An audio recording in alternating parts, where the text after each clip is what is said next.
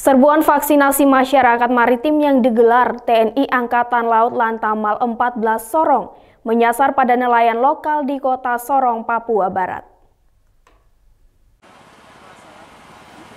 Sebagai upaya percepatan program vaksinasi kota Sorong, Papua Barat, TNI Angkatan Laut terus menggencarkan program vaksinasi seperti yang dilakukan oleh Lantamal 14 Sorong dengan memfokuskan vaksinasi di tempat pendaratan ikan klaligi agar mudah dijangkau oleh para nelayan dan pedagang.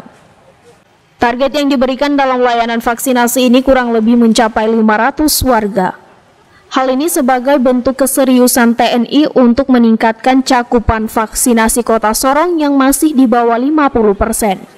Demi menciptakan imun tubuh yang baik bagi masyarakat, diharapkan sejumlah layanan vaksinasi yang digelar oleh instansi terkait dapat diikuti untuk dapat memerangi wabah COVID-19.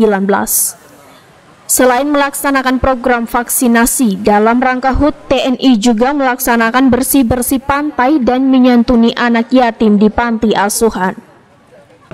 Dengan nama uh, eh, TNI AL Peduli, di antaranya kegiatan itu adalah uh, bakti sosial, kemudian serbuan vaksinasi, kemudian kita juga akan uh, menyantuni beberapa anak yatim di di panti asuhan. Kemudian kita juga melaksanakan doa bersama nanti pada uh, hari Flora Batlayeri, Kompas TV, Sorong, Papua Barat.